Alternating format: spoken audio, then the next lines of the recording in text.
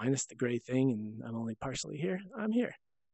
Um, and it's again dynamic and scalable depending on what the use case is. Um, but again, rarely do you need to see this entire thing at the same time. So just go on this bridge here, and then we have the castle, which is not fully rendered yet. Um, I could go down here. I can play with the scale, so I can make it big or small. I'm not going to do that right now because there's some funkiness involved, but uh, definitely that will be working in the next version. Um, as will the teleportation be, so I won't have to do this climbing thing anymore if I don't want, uh, which I'm about to do. So let's go here, and we'll just go up. What is that? Oh, it's points. All right, so as far as realism goes, I mean, this is like, this is it, man. I'm, this is awesome, nearly perfect. Nearly. Oh, okay, it's good. It's really good. I wouldn't say perfect. It's really good. So now all the points generate in my local space here, and we can see rocks, lots of them, high detail. Okay, so I'm just gonna Spider-Man up here.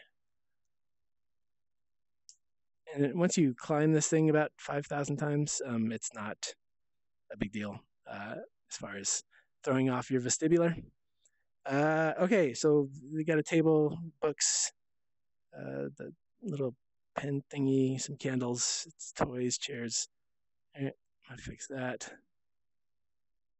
And I am in here, but I notice that it's lagging. So again, I'm just going to um, apologize if I'm rambling a little bit here. Um, I'm going to adjust my volume here once I get in the right space. Okay, so here I'm in this room and blah, blah, blah. And I just want to do a little bit of that business. Where is it? Here.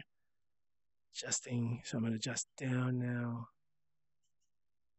And now I just to be in the space, and now everything's like honky dory, no problem. Uh, can write some letters, sit on a really cool corner uh, thingy, maybe, you know, do the things that are in here. There's this really neat room, actually. Oh, this is it. Oh, climb. Yep.